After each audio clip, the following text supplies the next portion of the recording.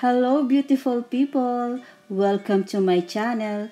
Before anything else, I would like to say thank you. How grateful I am. Thank you for all the good comments and for all the suggestions. We are all communicating well. There are three key players when it comes to YouTube monetization. The viewers, the creators, the advertisers. From a viewer perspective, we want YouTube to be the best place to find and enjoy entertaining content. From a creator perspective, we want YouTube to be the optimal platform where you can produce content your audience loves.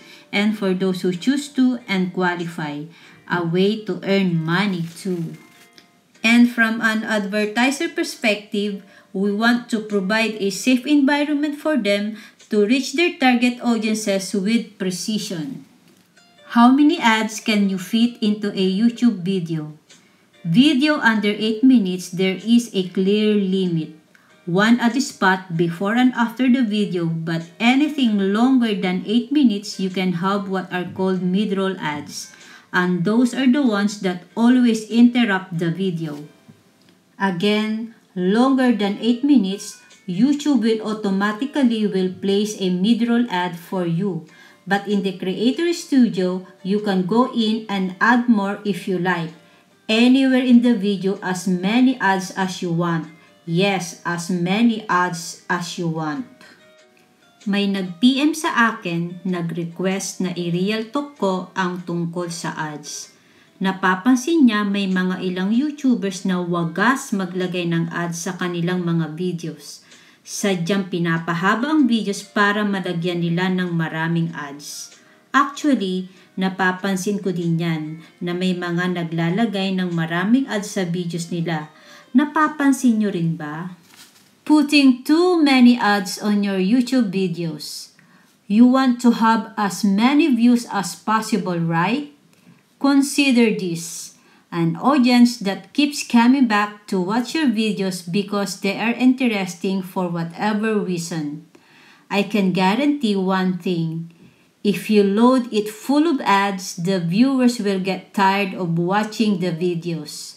Do you enjoy videos on YouTube that are crammed with ads? Of course not. Obviously, I don't want to put many ads because that would just be obnoxious. We know that most people see many ads as a huge pain in the butt.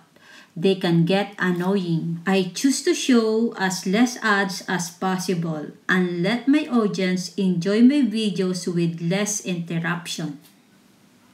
Doon sa nag-request na i-real talk ko ang tungkol sa naglalagay ng maraming ads, ito ang sabi niya. But when every 2 to 3 minutes the video is interrupted by an ad, hindi na nakakatuwa. Nakakamiss yung noon when YouTube was driven by people creating good content. We keep on saying don't skip the ads to our viewers pero sana worth it yung video natin na panoorin at huwag naman tadtarin ng napakaraming ads. Mami Che Dugan, hindi po ako naglalagay ng maraming ads sa video ko. Kung ano lang po ang ibigay ni YouTube. I aim for organic views po. Kung tadtad ng ads ang video ko, iiwan po ako ng viewers ko. Miller Family 4 May opinion is okay naman maglagay ng ads, huwag lang sobra. Sa akin, naglagay ako ng apat kasi if may mag-play sa akin, at least worth it yung pag-play natin. Sayang din naman kasi nag-play ka tapos dalawang ads lang if more than 10 minutes ang video. Creative Mama Cheng, pinahaba ng iba para mag-manual sa paglagay ng ads. The algorithm will detect the numbers of ads added on such video. Kahit ilang ads break ang nilalagay nila, the ads won't always appear. Yung ikaw lang na uploader ang nasiyahan disregarding your responsibility as a creator sa mga viewers mo.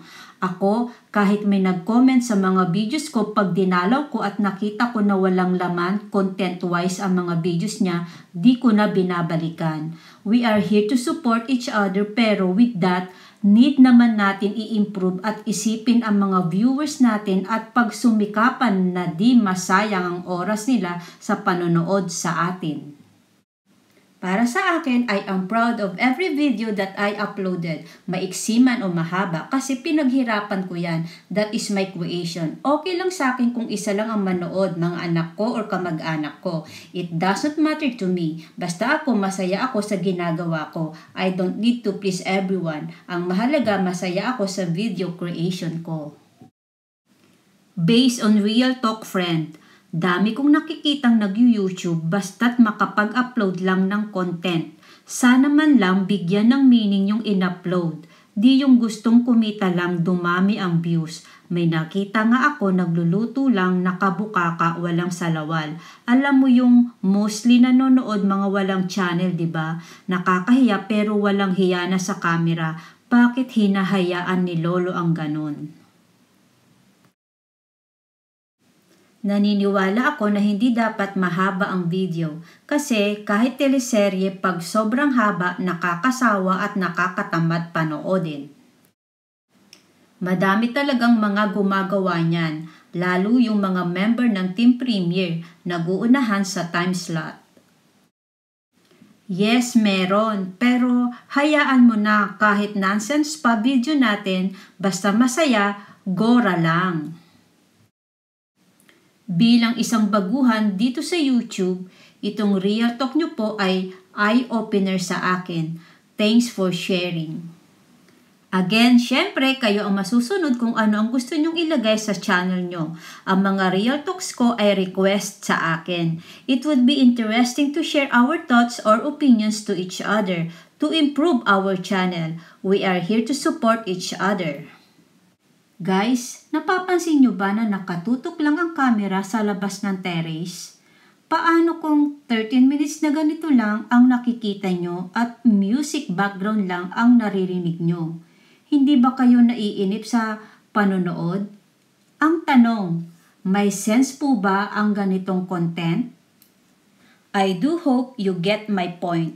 Real talk lang tayo. Comment down below kung meron kayong napapanood similar to this or exactly like this.